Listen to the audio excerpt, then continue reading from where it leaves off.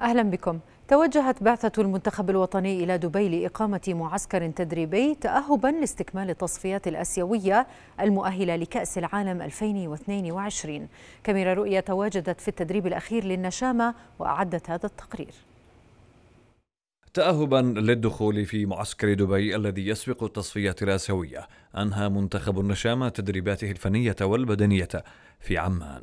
تدريب النشامة شهد احتجاب لاعبي الوحدات لالتزامهم بخوض المباراة المؤجلة من دوري المحترفين أمام البقعة إلى جانب لاعبي الفيصل والسلط لارتباطهم بأنديتهم لخوض بطولة كأس الاتحاد الآسيوي First, we made good, two good games in, uh, in Dubai against UAE and Vietnam.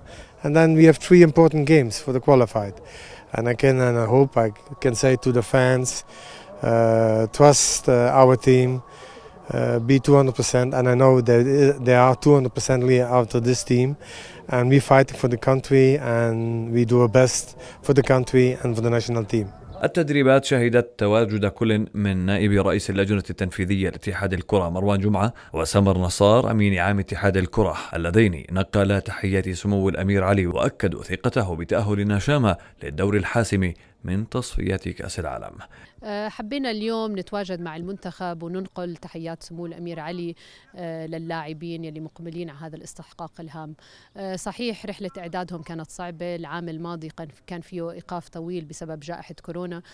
بس ابتداء من أول العام كان في عدة معسكرات أربع معسكرات تدريبية ولعبوا حوالي 12 مباراة ودية.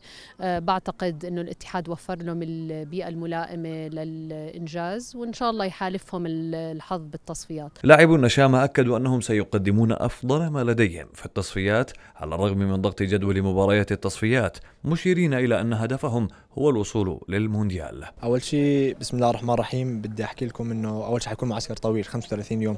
فبتمنى من الجمهور والإعلام أنه يكون معنا واقف وساندنا بهاي الفترة. برجع بحكي لك أنا حكيت أكثر من مرة إنه ما راح نقصر بحق الجمهور الأردني راح نفرحهم بإذن الله بكل ما أوتينا من قوة راح نتمرن بكل ما أوتينا من قوة حتى نطلع بالبطولة جاهزين. إيه عندنا ال coach فيتال ال coach كريم الكابتن أسامة الأمور كلها عندنا تمام تمام. إن شاء الله ما راح نقصر بحق الجمهور. راح ندخل البطوله مستعدين ونقدم اللي علينا والباقي كله على رب العالمين. كابتن بعيد. مباراتان وديتان سيخوضهما منتخب النشامى أمام منتخبي الإمارات وفيتنام. قبل السفر إلى الكويت تأهبا لاستكمال التصفيات لقاء نيبال والكويت وأستراليا والأمل معلق على خطف بطاقة العبور للدور الحاسم.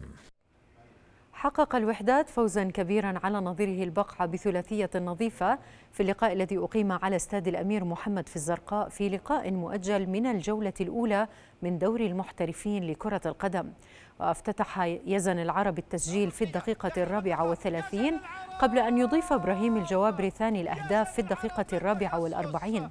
واختتم أهداف اللقاء أنس العوضات في الدقيقة التاسعة والخمسين ليرفع الوحدات بهذا الفوز رصيده إلى عشر نقاط في المركز الرابع فيما بقي رصيد البقعة خاليا من النقاط. بنفس الطريقة وبنفس الكرة بالكعب جميلة جدا إلى أنس العوضات أنس راح يسجل أنس راح يسجل وأنس سجل الهدف الثالث. وحداتي ثالث يحل فريق ليفربول ضيفا ثقيلا على منافسه بيرنلي الليلة في اللقاء الذي يأتي ضمن منافسات الجولة قبل الأخيرة من عمر الدوري الإنجليزي الممتاز لكرة القدم. ويأمل ليفربول بمواصلة انتصاراته التي حققها في الآونة الأخيرة في ظل سعي المنافسة القوية بين فريقي ليفربول وليستر سيتي على المركز المؤهل لدوري أبطال أوروبا. ويسعى ال Reds لتحقيق الفوز والاستفادة من خسارة ليستر أمس أمام تشيلسي. وعلى الجهة المقابلة يدخل بيرني اللقاء بعيدا عن الضغوطات حيث يقع الفريق في المركز السادس عشر برصيد 39 نقطة ما يجعله بعيدا عن المنافسة على مراكز المقدمة وعلى مناطق الهبوط.